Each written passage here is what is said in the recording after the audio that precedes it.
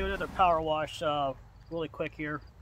I uh, got some time. I just want to show some sidewalk. It's a friend of mine's house, so uh, I'm going to go ahead and do this. Um, just do the sidewalk out here. It's kind of a drizzly day, so nothing to do. This is the uh, attachment that I use. Um, this is basically just a, uh, a round disc that spins around, as you can see.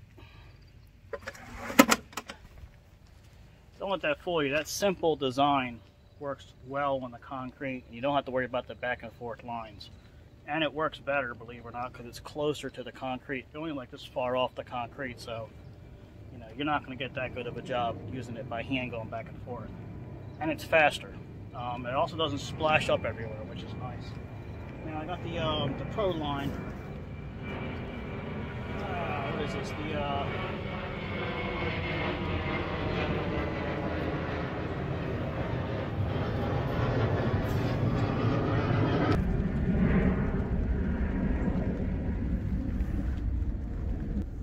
All right, so it's the 535 V1 Pro. It's a 5035 uh, V-Line Pro, and uh, it has the 18 horsepower Vanguard engine on it.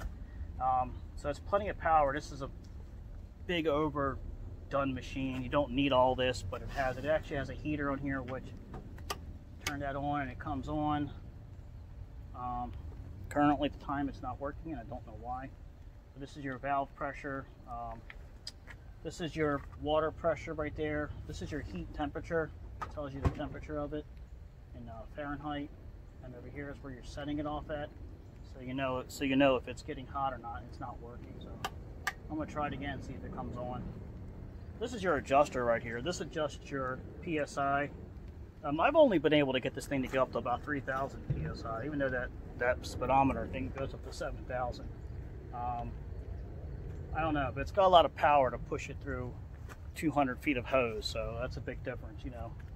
So that's what I have on here. I have 200 feet of hose. It has an applicator, but you can only use 50 foot of hose, which is stupid. I don't understand why. So I have a nozzle applicator. I'm not going to do any application on this. I might just drop a little bit of um, concrete cleaner on it, but um, I use driveway cleaner. Um, I might not use it on here at all because I don't really need to. So I'm going to go ahead and get this out, start this up, show you how it works.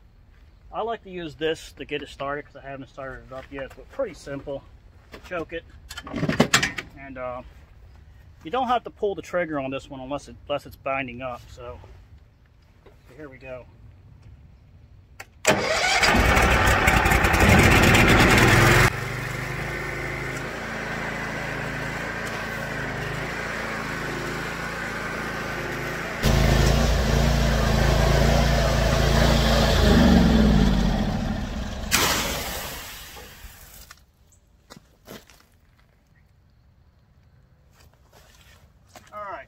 So you know with power washers, you cannot change this without turning the machine off. So you turn the machine off, relieve the pressure on the water. Now these need, I need to replace these. They're not that great. There you go. Comes out.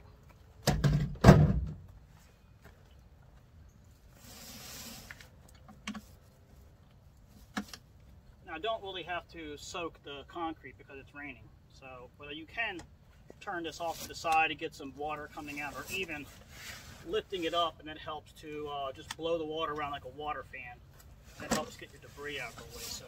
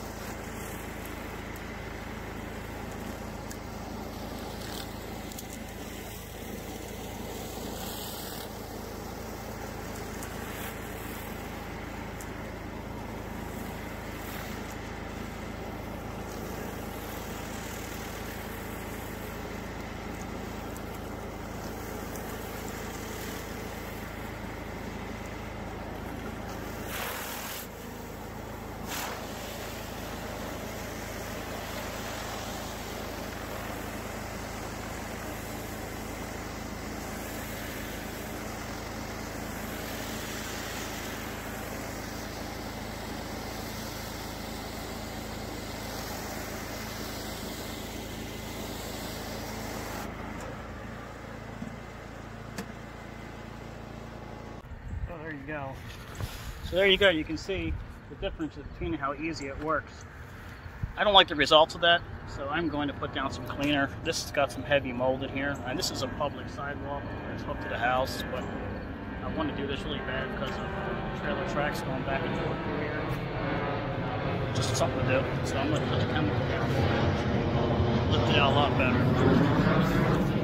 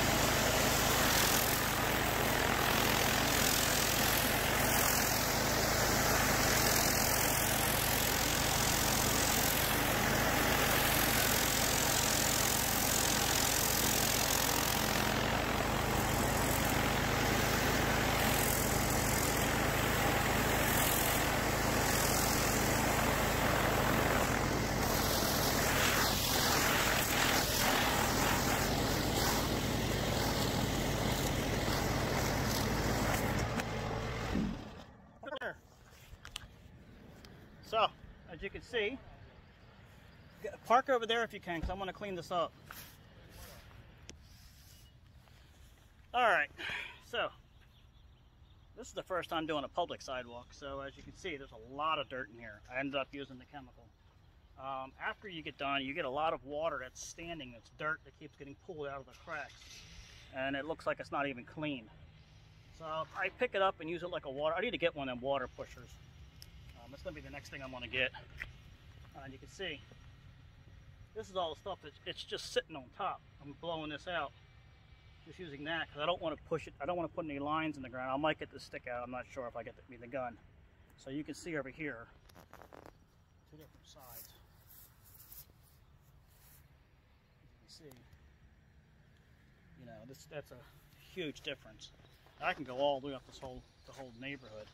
So basically what I end up doing is stopping at the stopping at the crack And then what I'll do is I'll pick it up and I'll feather it out so it doesn't look like it stopped and started. So I'll just kind of like wedge into the next, um, like a like a spray paint, like when you're doing body work, just feathering it in, fading it into there's where fading it into the next concrete. Or you can just stop it. You don't want to leave circles like this. So obviously got to keep going, but you don't want to leave a circle like that. It's just a, that's just as bad as leaving lines. So as you can see, that's that's it right there. I'm not gonna I don't have time to film the whole thing, so what I'll do is I'll just take some pictures when it's done and put it back on there. So there you go.